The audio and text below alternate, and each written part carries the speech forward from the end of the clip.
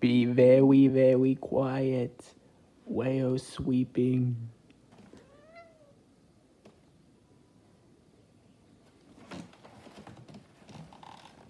Okay, I should not have woke you up.